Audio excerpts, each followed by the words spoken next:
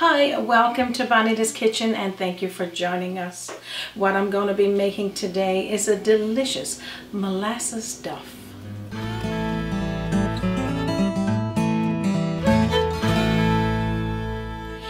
This molasses duff that I'm making here today is a traditional Newfoundland and Labrador recipe. It is also a viewer's request. Many viewers have been asking for this over the past while. So what I'm going to do today is tell you a just a couple of these ingredients that we're going to be using here today and as well how you can make them. So let's get started. So of course what we're using is all-purpose white flour. You could use wheat. We're using butter or margarine and it's a half a cup. We're going to be using a teaspoonful of baking soda. We're going to be using a half a cup of raisins, but raisins is optional if you don't want to have it in this recipe. We're going to be using a cup of molasses, any type. The baking molasses, light, dark, it doesn't matter. You can uh, steam this pudding or this stuff in a pudding bag or you could make it in a pudding tin. So what I'll do now is start with the flour and butter. We'll get started. We're going to be using two cups of all-purpose white flour. Again, if you want to use a different flour, that is totally up to you.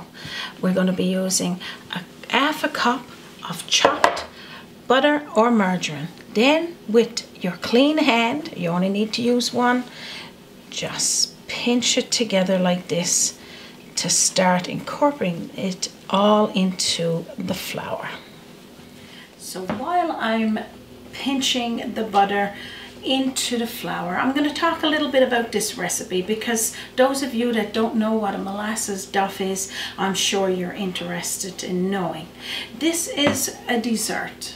It's also served with a meal and here in Newfoundland and Labrador we serve it with our Jiggs dinner. It's also called a boiled dinner and some of us we would call it a Sunday dinner and I'll share that link with you so you would know what it is. Also, this is a simple recipe that our elders and our parents would use to actually uh, be a little bit more food to fill a large family. So they'll make these um, molasses duff and of course I get a blueberry duff on there and I'll share that one with you to have extra food on your plate. So if you're interested, stick around here because this is a quick and easy recipe. So after you've pinched all of that butter into the flour, made it a little crumbly like this, just wash up your hands to get ready for the next step. The molasses you could warm on the stove top or if you got a microwave you can warm it in the microwave for 30 to 40 seconds and just to warm it when I talk about a pudding bag here in Newfoundland and Labrador, we use cotton pudding bags like this for a lot of our uh, meals and you've probably seen one on there for peas pudding and we've uh, done it in a bag and also in a pot and I'll share that link with you. But this here you can put after you've make, made this dough, this batter, you put it into these bags and I'll show you a little bit about that. But I'm not making this one today. I'll talk a little bit about it so that you know uh, what I'm talking about. So that you would know, because maybe that's the way you want to make it. You probably want to cook it with your boiled dinner and tie it to the side of the boiler we'll talk again about that. I'm using today a pudding tin and I got, I can share that link with you as well for you to know how to get this pudding tin and this one you can put, uh, you can cook it on its own, not with your meal and this is the one we're going to use and as I go on that one I'll share that with you. So I'm going to nook my molasses and show you what I'm going to do next. So what I got here is the, the molasses warmed for about 30 to 40 seconds and one teaspoonful of baking soda. You just toss it right on into the molasses and then we're going to whisk this around just a little because what happens here now, this baking soda starts to work inside of the warm molasses. You see it rising just like it was uh, like a yeast and it uh, it just keeps foaming let it foam like that for a little bit and then that's what cooks our delicious uh, molasses duff. How long do you mean when you says a little bit? Is it a minute or two minutes or? Just until you see it foaming up like this, and that's enough. Sounds good. So Raymond, that was a, a wonderful question, but that's all you need to do. Once it's foamed up like this, you'll see it and then that's it. You'll just pour it on into your flour and butter mixture. And all of these ingredients, you guys, pretty much all of us got it in our cupboards because this is kind of your basic staple that you would have really. Flour and molasses, butter. And now all you need to do there is mix that together. See, I've never made this duff before. Well, the next time you will. Okay. All right. As you're mixing this or folding it together, um, you can see the baking soda still rising in there. The baking soda is the only rising ingredient that we got in this um, mixture, and that's all you need. Now, when I say that you could use um, raisins, that's optional because some people like their molasses duff just like that, nothing else. But I like to add in the raisins. So at this point, add in half a cup of raisins or whatever you would like to put in there. Nuts or currants, even dried cranberries. That's totally up to you. That's all you need to do with that. Perfect. With a little bit of butter or oil, you need to to put it inside of that pudding tin just to help it slide out just that little bit easy. And now we're going to scoop up our batter. So at this stage is when we're going to take all of our batter and put into the, the pudding tin that we have got greased. Now in this case, if you're using this pudding bag, you, um, we would say a prepared pudding bag. So what you would do with that is rinse it under the cold water just to wet it and then after fill, put your, your dough and your batter into the bag and then tie it up. Now the reasons for not showing you this uh, method today is because I'm only just going to make the one in the tin.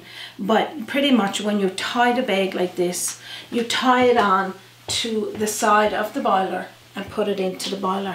Much the same as you do with your peas uh, peas pudding and I showed you that already on Bonita's Kitchen.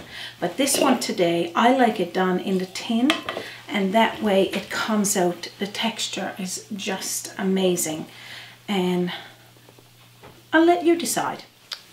So just scoop up all of this batter into your pudding tin. And, uh, and as well, to answer Raymond's question, it takes an hour and 15 minutes um, to uh, steam these duffs if it's in the pudding bag or if it's in the pudding tin. And that's all you need to do there. After you've put all that delicious batter into the pudding tin, so I'll put this here for now, um, you're just going to snap the cover onto that pot. And what we got here is a, a quarter full uh, uh, of water in the pot, just up to there, because now we're going to steam this pudding and I always insert this grate in the bottom so that uh, the pot is not I guess the pudding tin is not touching the bottom of the boiler and that it keeps it lifted a little bit. But I'm going to show you that now. Now I usually put this into the water when it's cold. It's hot there now but I'll just let it uh, drop down. And then I put the pudding tin on top of that grate. And then after we put the cover on top. But before I do that I wanted to explain the pudding bag. If you weren't using the pudding tin you would put the bag into the water tie it to the side of the pot like this and it just sort of submerges to the top and it's just being steamed with the water not boiled because we don't need it to get wet because if it gets wet too much it'll soak apart and it'll get soggy So that's all you need to do there. That's if that's an interest to you to make it that way. But right now in the tin and then put the lid over like this. Now I'll explain a little bit about how long. So pretty much that's all you need to do with that. And once you put the pudding tin into the boiler and put the lid on, you put it on a medium heat on the stove top and you, you steam it for about one hour to one hour and 15 minutes. Of course, you can't fit anything else in with that. But here in Newfoundland and Labrador, if we're cooking a Jiggs dinner or a boiled dinner, we got this little tiny bit of room on top of the boiler, not much. And I'll show you that video. Of course, I'll share it at the top left-hand corner. And that's where you would, if you're cooking with the pudding bag. And the reason why I'm giving you all this information, because Raymond said that he's a little confused. Um, the reason why I'm giving you all this information, for those of you out there that want to cook with the pudding bag, pretty much cook it with your meal on top of the vegetables and let it steam like that. So pretty much tied to the side of the boiler when you're doing it. But right now, like I said, I'm not making it that way. We're doing it in the pudding tin. So meet me back here when it's done and I'll show you what it looks like. Welcome back to Bonita's Kitchen and thank you for joining us. I'm going to show you now our steamed molasses duff. So this little uh, tin got a, a nozzle there on it that you can help take it out. It's a little flip tag here. So you just pop it out of the water like that and then after just open up the lid. Now these little lids got a little nozzle there and you keep, twisting it until you find where that is and then pop it up. And then this is your molasses duff. So when you take it out of the bowl or get your lid off, you may want to run the knife down like this just to see if it's loosened a little bit and let it rest for a couple of minutes just to work its way away, away from the sides. Now I'm going to flip it out into a plate. So put a plate on the top, your mitts on of course, and then flip it over onto the plate and then it, let it rest for just a minute or so and we're going to make a caramel sauce to go over it. So while we're waiting for just the molasses duff just to rest there for a moment, I'm going to make a caramel sauce. I'm going to do it in the microwave, but I'll share with you both. I'll share with you how to do it on the, um, the stove top and with the microwave. I'll share a link with you. But it's one cup of uh, brown sugar, two tablespoonfuls of butter, and a quarter of cup of milk. You're going to put this in the microwave for about 30 to 40 seconds. Show you what that looks like. So after you've melted it just a little with a whisk, just whisk around the ingredients and keep doing this until it starts to thicken.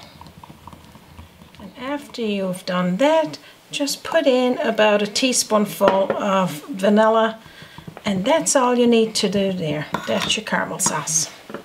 Okay, so after it's loosened from the pudding pan.